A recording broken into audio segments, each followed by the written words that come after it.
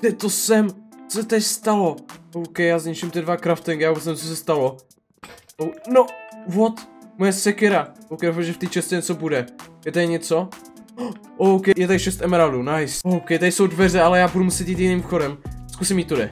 Tady to je dobrá cesta. OK, OK, zkusím jít tady dolů. O, o, what?